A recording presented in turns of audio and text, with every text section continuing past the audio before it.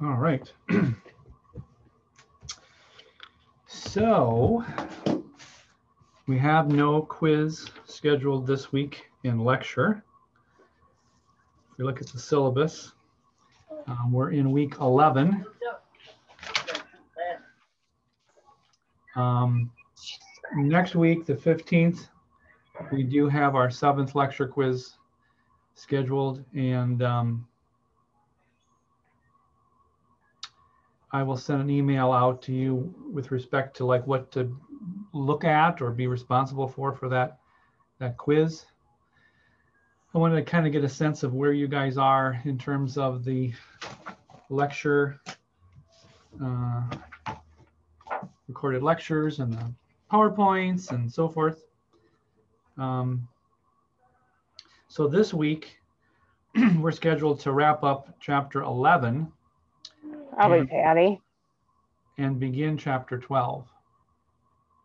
According again to the schedule, which is what I'm trying to adhere to. Um, I just recorded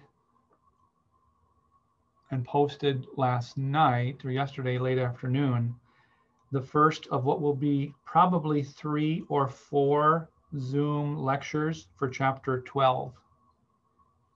So you see the first there now if you go and look. So, so that's kind of where we are in terms of the semester, the chapters and that kind of thing. So just open it up for questions related to any of the chapters that you'd like to talk about. You're being stupid. Okay, knock it off, both of you. No one's being stupid. I can type for you. There's no reason for me to have to get up. I'll let you know what she said. Any questions on stuff we've been talking about? I did think I, I indicated to you that I had posted um, for chapter 11 uh, a Zoom lecture basically that was done by a different individual other than me. But uh, as I watched it, and I, I'd used him a little bit last spring, um, even though it's from, I think, an earlier edition, he may be using the 10th edition of your textbook. It was virtually the same stuff that I would have uh, lectured on. And I think of all the chapters, chapter 11 is one that while it's full of information, um, I don't think of it as having a lot of real technical stuff in it, if you will. Unlike, say, the biochemistry, where we were, you know, talking about ATP synthesis and the hydrolysis of glucose and all that sort of stuff. I, I just don't find chapter 11 to be really very hard to read. I think it's very logically laid out, and so I thought it would lend itself well uh, to that particular format. But again, I'm not sure where, where you guys are in terms of your your studies. Have you have you gotten into 11 yet? Are you still back in 9, 10? Well, we had 9 on the test, didn't we? So you're done with 9. Oh, 10, there's a couple comments about 10. 10 is the uh, genetic engineering chapter. Um, I had posted what I thought was um, a Zoom recording from last spring that I did on chapter uh, 11 or 10. And um, Elizabeth emailed me and said, Hey, it's not working right. So I went back in yesterday and I don't know what the heck happened, but I was able to fix it. So if you were having difficulty accessing the Zoom lecture for 10 up until yesterday, um, it should be repaired now. It's about a, I'm trying to remember how long that Zoom lecture is. It's a, it's a much shorter lecture. I think it's like a 42 minute lecture, something like that. Because I bounced around a bit in chapter 10. This chapter, while not terribly long, is terribly technical it's probably the shortest chapter in the whole book as I look at it here. Um, you know, it's literally less than than about 25 pages. So that's from from front front to back. But um, I I bounced around a little bit. I omitted some major sections because I just didn't feel you needed to know a lot about the polymerase chain reaction. This is really higher level molecular biology. It's not something you need to know if you're going into nursing. Um, So, so therefore, as you look at the chapter, you're going to find it probably best to to watch the the Zoom lecture and then just find those corresponding chapters uh, or pages rather in that chapter and, and, and read those, reference those.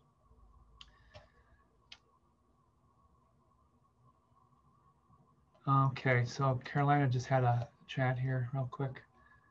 Um, she's finished chapter 10, have not gotten to 11. Is there something we need to mainly focus on? well, again, chapter 11 uh, covers a wide variety of topics, and they focus primarily on um, physical, chemical, and mechanical agents of control. How do you control microorganisms? Uh, so, for example, physical agents would be things like um, the autoclave, um, incineration of microbes on an inoculating loop. You know, physical heat, radiation, those are physical agents that you can use to control, uh, i.e. kill or lower the number of microorganisms. Chemical agents get at things like um, oh, the use of, of disinfectants and antiseptics. Anyway, there's a flow chart there in the first part of the chapter that kind of lays it out. And then what I do for the for the lecture is I break it down. I start with the physical agents, and then we talk about those, um, or or he does, I should say, and then he co- covers the chemical and the mechanical. It just it just goes down the line, down those that flow chart. In some respects, is really what it is. So there's nothing in particular to focus on. I think you need to be aware of the diversity of different physical and chemical and um, mechanical control mechanisms. Um,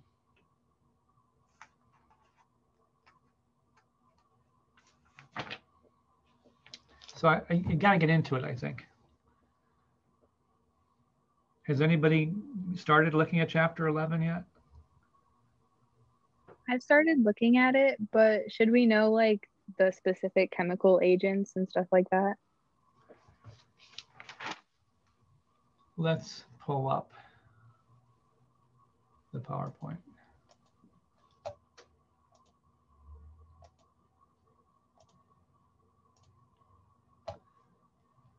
Okay, so do you see that on your screen?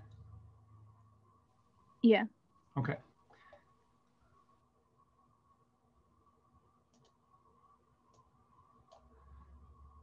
So as I said a minute ago, the, the PowerPoint is a survey of these three major methodologies. Um, now, you were asking about chemical agents, so we can we can jump right down to that right off the bat if you want to do that rather than go through all these other ones. So here's that section that focuses on chemical agents. And so it talks about, you know, desirable characteristics when it comes to uh, invention, if you will, of disinfectants or antiseptics or any sort of a chemical that we might use to control microbial growth. Uh, we define some terms here. Anytime, anytime you see IC, IDE, that's usually meaning death of. Um, and then we define the different levels of germicidal activity, high, medium, and low. Um, again, I think this is this is very straightforward and to the point. So what I think you were asking was, what do we need to know with regard to specific names of chemicals? And so what I did with this slide is I tried to highlight or star those particular agents that I felt the PowerPoint spend a little more time talking about, which of course is the majority of these, granted. Um, what I didn't spend much time on and what I don't think you need to really worry so much about would be, you know, for example, the quaternary ammonium compounds here, the mercurials, um, silver nitrate, formaldehyde, and dyes. So I think you don't need to really worry about those too much at all, but focus on these other characteristics, which is what the next part of this PowerPoint will delve into. It'll start talking about first chlorine and iodine-based chemicals. So I, I, hope that kind of helps answer your question. I think these, again, would be the ones to really be aware of. Um, and this is just another listing and I sort of asterisked, if that's a word, um, those particular chemicals that I think are worth spending some time on. A lot of these you probably have at home. Many of these are antiseptics, not all, but, but a lot of them.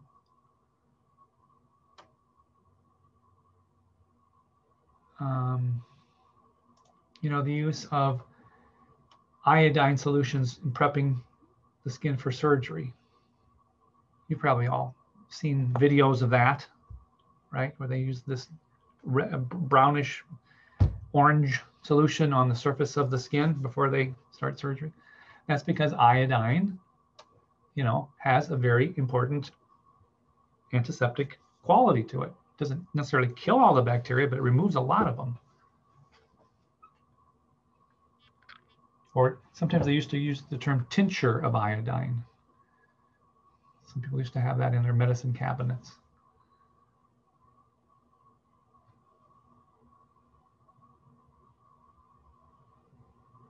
Um, there's an interesting historical overview of the use of phenol or carbolic acid, and this is um, a series of videos. I think it's you know worth watching. It talks about Lister and the role he played, very important role in helping to control infection, mostly post-operative infection, which killed many many people, as it says here. If you broke your leg in 1842 England, you had a 50% chance of dying from that compound fracture, especially if it was exposed to the atmosphere, you know, the, the outside. Any sort of major injury where you broke the skin, um, half of half of you died. I mean, it was horrible. So Lister spent some time researching this chemical called carbolic acid or phenol, and he developed this this uh, mist that he would spray on the patient as he was performing surgery. That's sort of what this sketch is is kind of trying to depict. Although you don't, well, yeah, here's here's the phenol in this little bottle, and it's spraying onto the patient. It's kind of a bizarre way of doing surgery, but what Lister found was the post-operative infection rates were significantly reduced if you used this phenol. It was a very important antimicrobial um, agent. The problem was it's very caustic to skin and to exposed tissue. So it's not without it's not without its downsides. And as the story goes, one of the nurses that assisted Lister in his surgeries, uh, this was prior to the use of, of gowns and masks, as you can see in this photograph. They were they were dressed up in their suit coats and you know, we didn't know anything about the role of microbes or very much about the role of microbes. Lister obviously had some idea of them, but the idea of protecting the patient by covering your mouth or being decked out in a gown or washing your hands beforehand, um, not a lot was known about that yet, the germ theory of disease.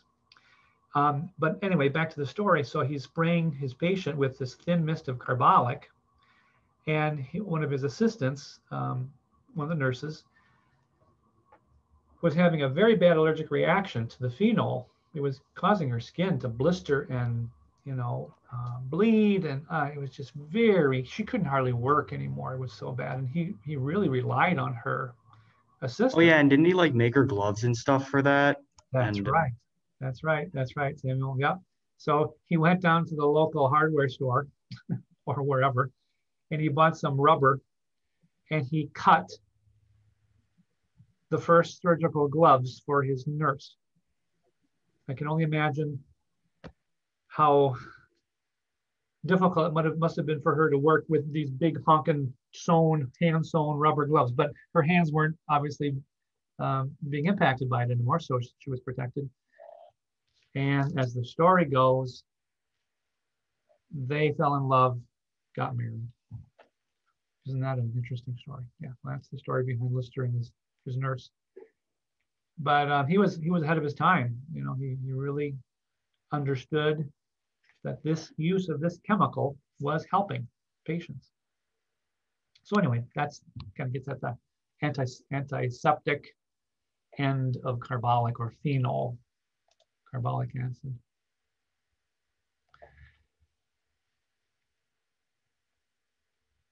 So again, I, I think if you go through these these slides, it's they're very straightforward. Um, you know, we can talk about any in particular that you have questions on or difficulty with. Um, it might be worth, you know, having note cards on each one of these chemicals, maybe. Um, you know, however you, however you organize your notes.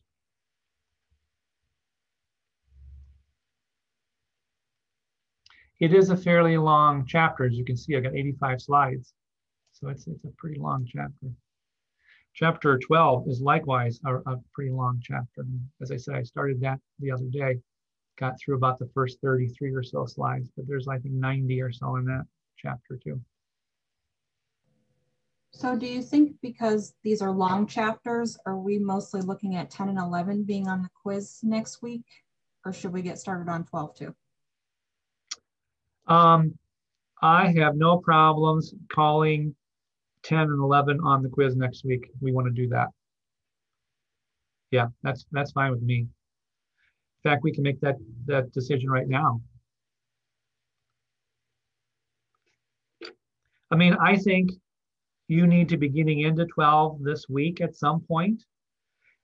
Only only to really adhere to the schedule because if you don't do that, you get behind and then you're kind of rushing to get caught up. And I know it's hard because you're taking nursing and you're doing other classes and you're working and you've got kids at home. And I mean, I, I know you're busy people. I, I truly do understand that. Um, but I think I think trying to adhere to the schedule as best you can is to your benefit. But you know, we're covering a chapter or so a week, and that's that's a lot of stuff. A lot of material. So why don't we make a note right now? I'm going to do this on my syllabus for the April 15th quiz, which is going to be lecture quiz number seven, according to my counting here. We'll have that over. Um, why don't we have that be over chapter 11? We won't we won't include 10. We'll just do 11. Okay. Everybody give me a thumbs up if you heard me say that. Okay, very good.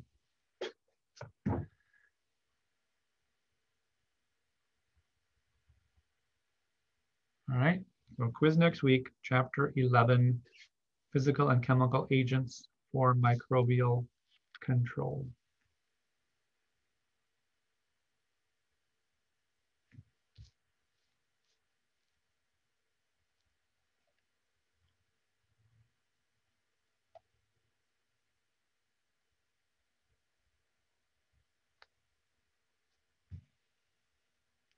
Any questions on anything you encountered in chapter 10 in the PowerPoint or the video? This is the, the genetic engineering chapter, which I bounced around a little bit in.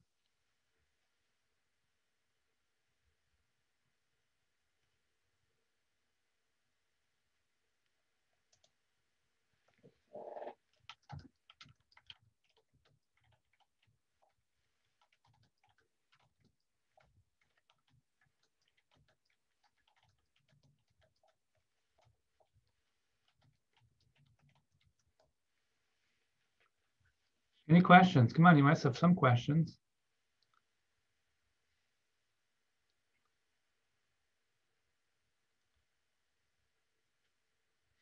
Okay. Can we go over how recombinant DNA works? Yes. So let's go to chapter 10. So I'm going to share that.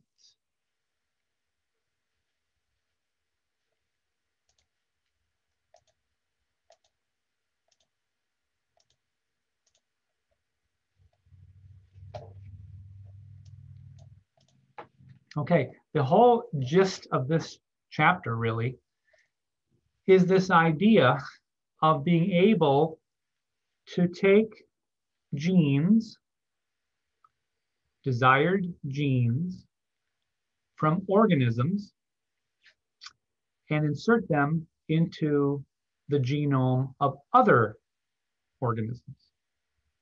And these organisms, the one that the gene is being taken from, and the organism that the gene is being inserted into, do not have to be necessarily closely related. Okay.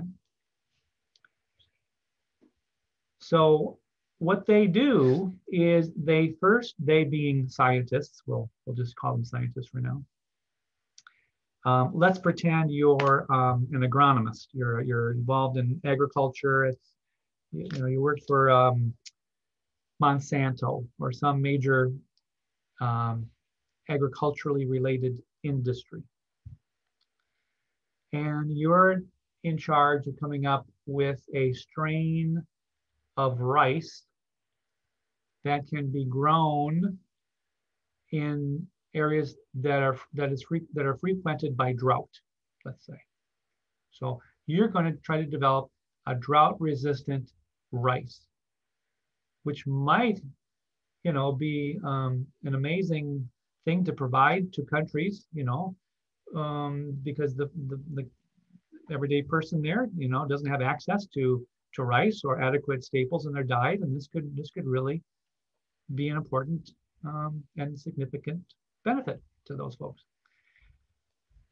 So what you would have to do is try to, you know, ascertain within a drought resistant plant what gene provides that drought resistance.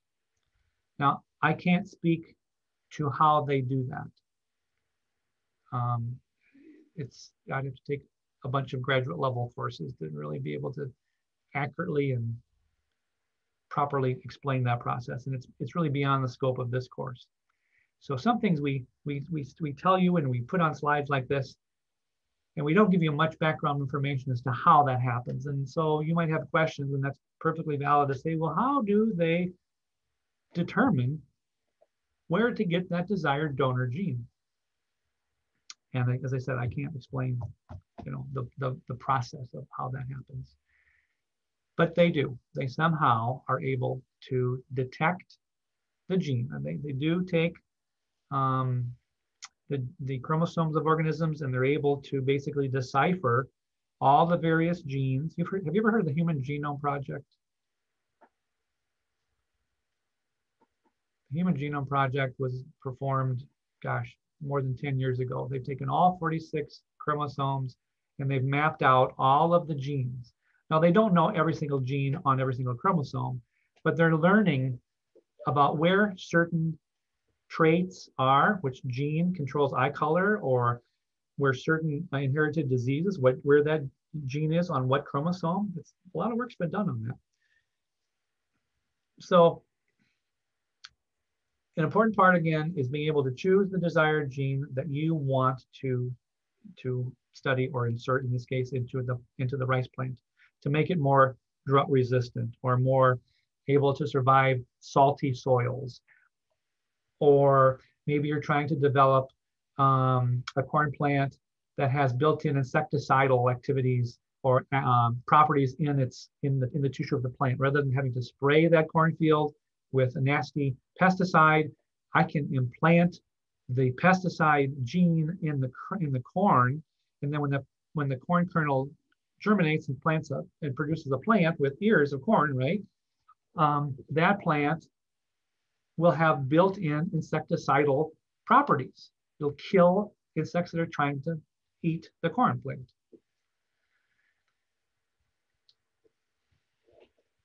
Okay, so identification of the desired gene is kind of critical in this process. And then we've got to, to find a way to insert the gene into the organism. And there are different ways of doing that. Um, One way to do that is to make use of a plasmid. And you hopefully remember what a plasmid is. How would you define plasmid? Anybody? What is a plasmid?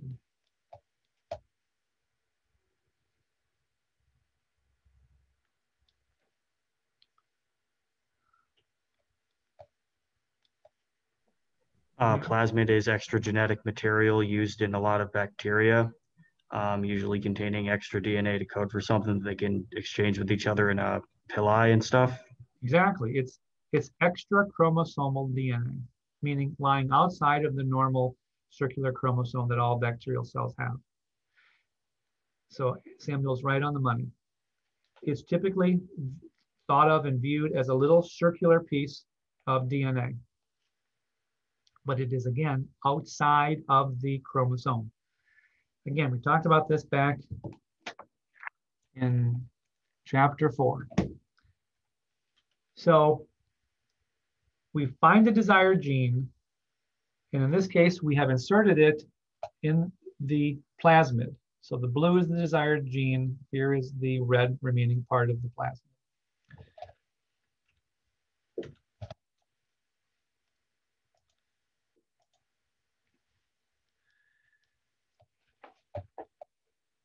All right.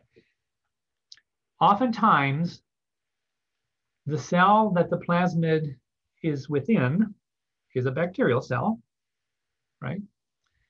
Um, or you can actually also insert plasmids into yeast cells. And what will that cell do in response to having that plasmid? Well, a couple things could happen. And that's what is shown at the bottom of this diagram.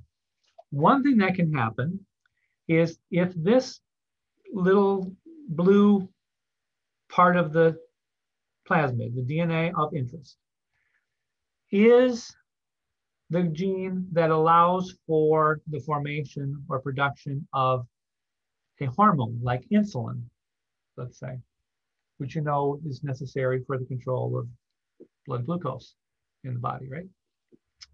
Helps keep it lowered. Some people can't produce insulin, so they have to have insulin injected. Well, in the olden days, they used to use pigs as a source of insulin. Now they can take cells like bacteria, insert the insulin instruction booklet, if you will, in the form of this DNA of interest, this gene of interest. And the bacterial cell, when grown in a big fermentation vat or in a big container in the in, at Monsanto or at um, whatever bio uh, farm, pharmaceutical company you want to work for, they can grow those cells in high abundance, and they can siphon off the insulin that those cells make. The insulin is made because the DNA is transcribed into messenger RNA and translated into the insulin protein. And so here we see a, a, listing of different examples of pharmaceutical chemicals, some of which are hormones, even some vaccines can be produced um, in this manner. It's pretty amazing. Now, is it easier to grow a cell than, than it is an organism like a pig? The answer, of course, is yes. Can better manage, it's much cheaper. It can regulate how many cells are being produced in this vat. It takes pigs years to get old enough to extract the insulin, enough insulin to make it marketable or profitable. So this has revolutionized the industry in terms of lots of pharmaceuticals are made via recombinant DNA technology. This other part of the, of the uh, diagram is referring to how we could take that rice plant and make it more drought resistant, or that corn plant and insert herbicidal characteristics into that plant. In other words, rather than having to spray the, the field, the plant will have the built-in herbicide in its tissues or insecticide in its tissues to kill the pests that are trying to kill the plant, the bugs. Only in this case, you've got to insert the plasmid into this into the cells of the plant. And then the plant has to be able to make seeds that then get planted that result in obviously corn or rice being made. So somehow you got to get it into or transfer it into the gametes. And what do I mean by gametes? If you're a plant, what is the gamete?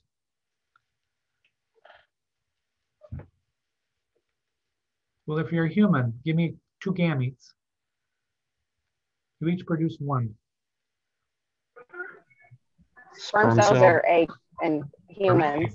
Right, right, obviously, sperm and egg. What if you're a plant? Sperm and egg? Well, no, no sperm in plants. Most plants. Like pollen. Pollen, And- right? The pollen is the male gamete, yeah. Um, there are eggs produced by by female plants. Um, and so if you remember your basic biology from high school, an angiosperm is a flowering plant. And in, in many plants, many flowers, although it depends, you have both male and female parts.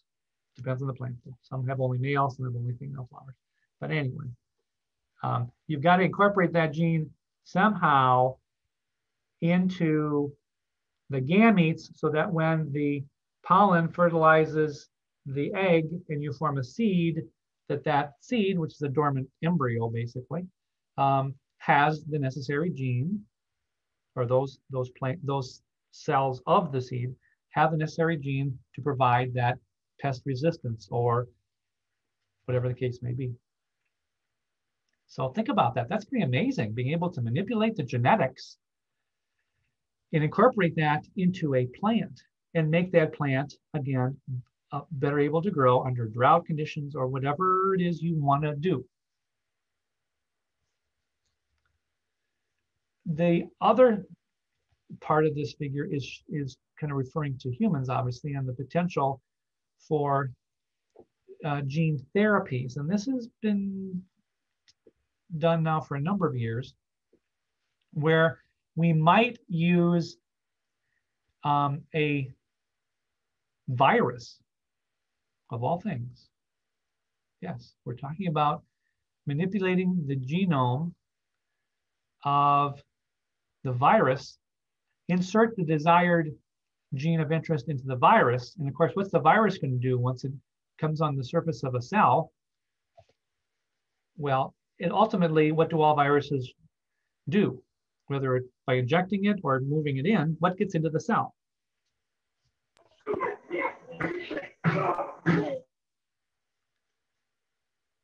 Ultimately, what, what is the purpose of a virus? It is to parasitize a cell, yes, but what is introduced into the host cell is my question. What, what does most of the dirty work, if you will, for a virus? It's what? What does it, what does it provide the host cell?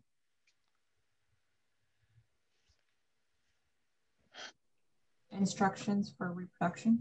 Right, it provides the cell with genetic material, doesn't it? Either RNA or DNA. Isn't that the basic premise of viral biology? Yes, we talked about that in chapter whatever it was. So here's a virus that we're using to our advantage. Not that we want to get viral infections. I'm not talking about that. I'm saying here we've got a virus that is introducing a gene of interest into a host cell. And we're inserting that gene of interest into the genome such that now the cell might be able to do something that it couldn't do before because it didn't have the proper instruction booklet, if you will, to do that. So we're providing the instruction booklet with the help of the virus. Yeah. Maybe that child couldn't produce an important hormone of some sort or, you know, growth hormone or insulin or um, any number of different things. Um, and and so this is this is gene therapy we're talking about.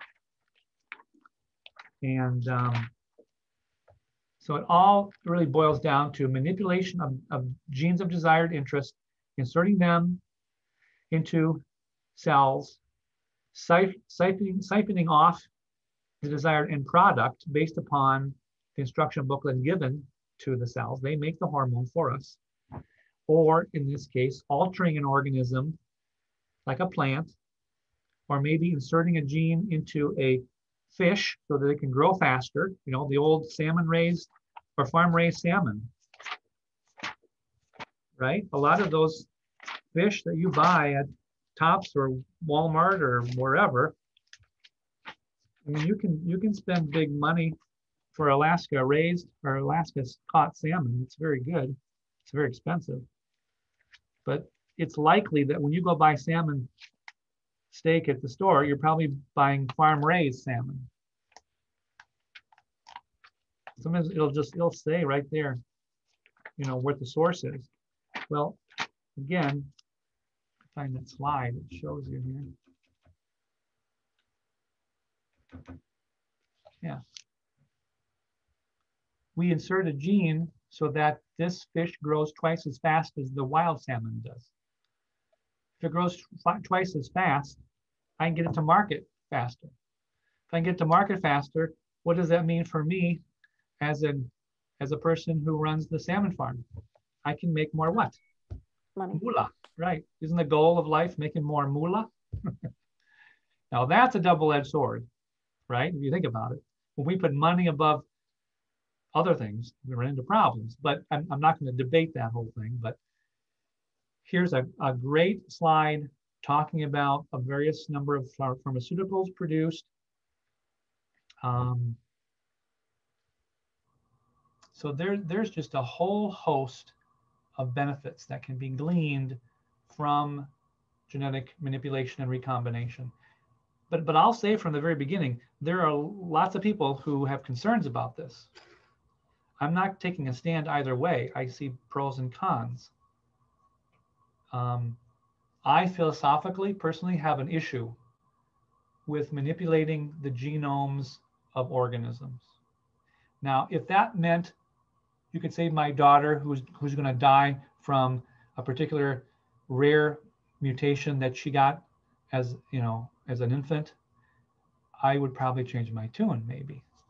So I got I can't be too judgmental, but I get worried when we start manipulating the genomes of lots of animals because we just we want to make fish grow faster or maybe it's more altruistic. We want to be able to to lessen the, the the famine issues in africa because we can now grow plants that are again able to grow in those particular conditions. So it, it is just a very slippery slope and it's there's some real good things that have come from this too. So i don't know if you've thought about this very much many people haven't I think.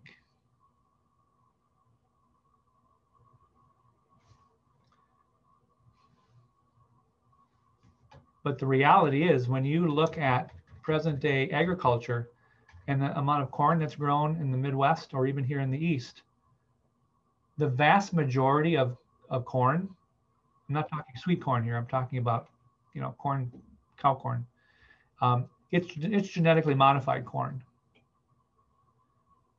you could be a farmer in Iowa and you might say, I'm philosophically opposed to using genetically modified corn. I just don't believe in it. I think it's there's some concerns about it. I want to use conventional corn, i.e., non genetically modified. Guess what? I have no choice. If I want to grow corn in my farm, I have to buy GMO. I, I, I cannot get my hands on any other types of corn. And so this gets back to, again, a, another whole discussion and debate, perhaps some would say, that some companies um, have, have monopolized this. They, they, they control what corn is sent and provided to farmers. Farmers are, they have no say in the matter. If you want to make a livelihood as a farmer, you got to buy this corn. And there's only, you can only get it from like two companies. And they're probably both owned by the same conglomerate. Yeah, yeah. It, there's a lot of politics here, and it, it kind of spills over into science a little bit as well. And again, I, I kind of on the fence. I feel two ways about that.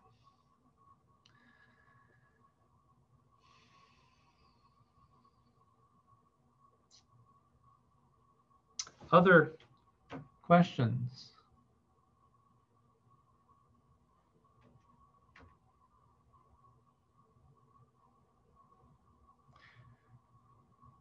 don't get all caught up in the uh, the nitty gritty of the process. Like this um, slide kind of goes into some some pretty detailed explanation of how this gene is is inserted into the into the plasmid, um, or it, yeah, it's coming from a particular cell, then inserted into the plasmid, and then it gets incorporated into the cell. Um, I like to know just the the basic the basic process. Don't get all caught up in the in the nitty gritty steps here. Get a get a sense for the overall picture of what's going on here. So transgenic plants, transgenic animals, these are animals, plants that have had their genomes altered.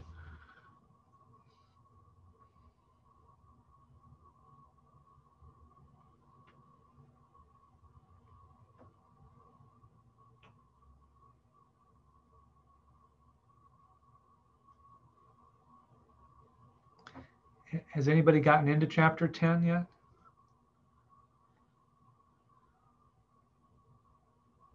Yeah. Anybody? Okay. Are you finding it a difficult chapter to plow through or are you okay with it or? Um, as I read through it, yeah, I kind of have to stop from time to time and just um, thi- yeah, Yeah, I feel like the book is much more complicated than how you explained it in your slides. yeah, that's that's a good way of putting it. Well, that was my goal because I, I'll be honest with you, I, as I said earlier, I don't know everything there is to know about the technology, and I feel, I feel very, um, how should I put it, inadequate in terms of being able to explain it well because I don't understand all of it. So what I want you to get out of the chapter is a basic understanding of of what's happening. Basically, that's that's kind of my hope, without you getting all frustrated by the technicalities, both in terms of of procedures and mechanisms, because this is this goes well beyond really what I think we need to know. So if you follow the PowerPoint, and it sounds to me like I kind of laid it out somewhat logically, um, and you're getting the basic gist of what um, you know bioengineering provides. That's that's my my goal. Yeah, I decided to read the chapter before I looked at the PowerPoint and it made my head spin. I kind of wish I would have looked at the PowerPoint first. Oh, I know it. I know it. It's oh yeah, yeah, yeah, yeah. That's and I applaud you, Stephanie, big time for doing that. I do. Um, because sometimes I did the same thing. Oh, okay. That can be helpful. That can be helpful sometimes. The downside is you don't know exactly what slides or topics I might omit from the chapter. And this is a case in point where, boy, a good half of it I didn't even put in. Um, if nothing else, it gave you an, it gives you an appreciation of the amazing science that that is going on that we've learned about. It's it's just mind-boggling to me uh, what we can do. Um, but yeah, yeah, I, I would say follow the PowerPoint, find those sections in the book that correspond to those topics, and and proceed through the chapter in that way. That's that's going to be, I think, uh, a good way to go.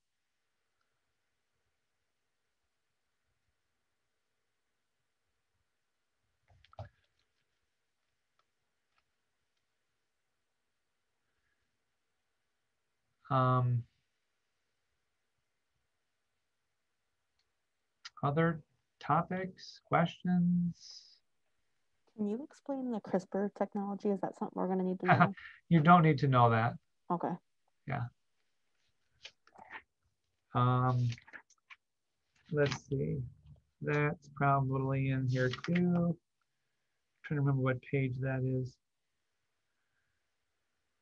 Um, 323. I'm sorry, It's on 323. 323, right, right, right, right. Yeah.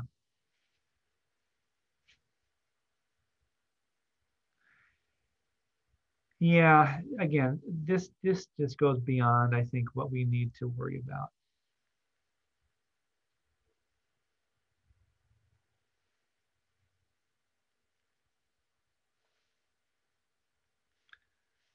So no, you don't need to know that.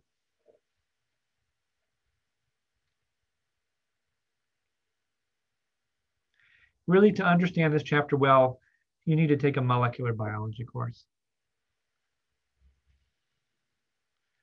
I think I think our book is is great. I think it goes into a lot of detail though that the average student, at least for this course, um, I think is is going overboard in terms of what we need.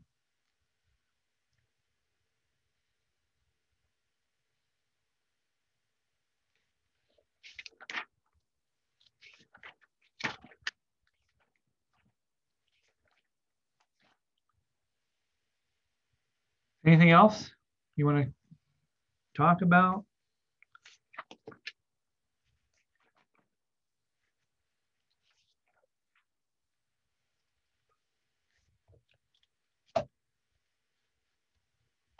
Well, definitely get into chapter 10 if you haven't done that. Start 11, get into 11. Um, and ideally, by by this weekend, try to get into a little bit of 12 if at all possible, so that you're kind of back on schedule. Um, I will tell you, as I said earlier, um, chapter 12 is a long chapter. It's not, yeah, it's just, it's full of different kinds of drugs and how they target microbes.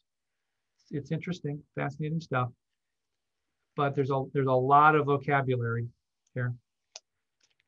So that's a fairly long chapter. 13 is also um, a fairly long chapter. And then the last two chapters, 14 and 15, I believe it is, yeah. Um, 14 is on um, Introduction to Host Defenses and Innate Immunities if you think back to A&P one, at least if, in my class, um, these are the lymphatics chapter is the last chapter we cover.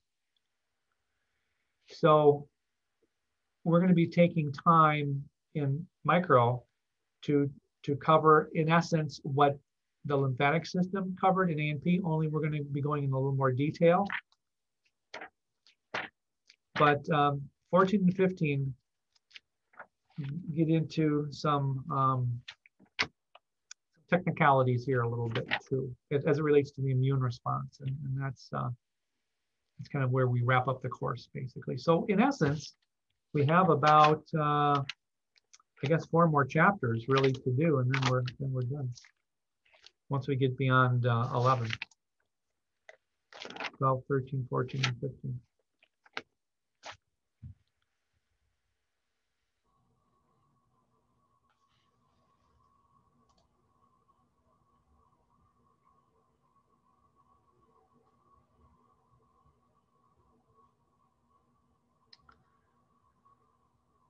All right. Um, well, I'll be in my Zoom room here until um, 2.30 before micro lab starts. So if there's no questions, I will see you next Tuesday.